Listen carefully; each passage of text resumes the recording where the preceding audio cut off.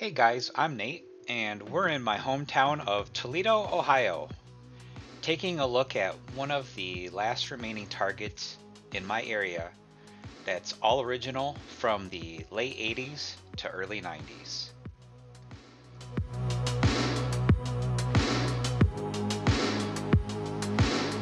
Many of you already know, in the past few years, Target's been getting full updated remodels to bring their stores up to modern design and to compete with the likes of Walmart and other retailers.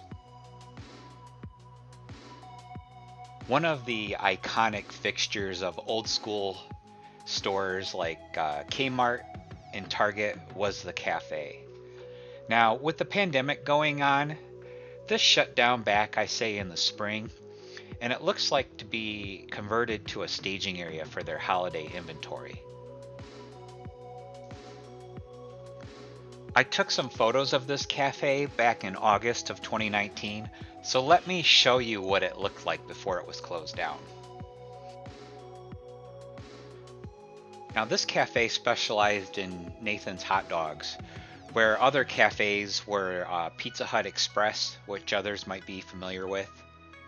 And I just love the neon and colored tiles in here. It's that very late 80s, early 90s vibe to it.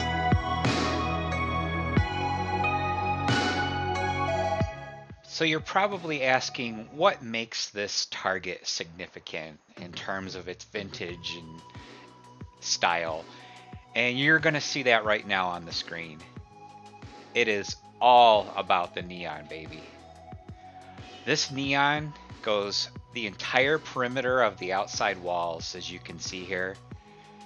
And it really marks this store. It really dates it back to its its vintage of uh, this store when it was built in 89.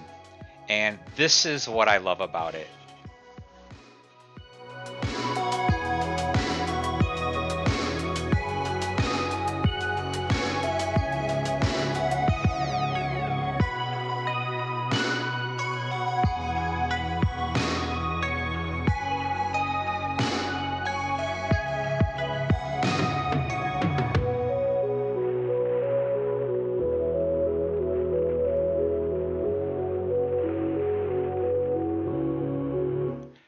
The sad part is, is when they update these stores, the neon is taken down and replaced with pretty bland primer gray walls.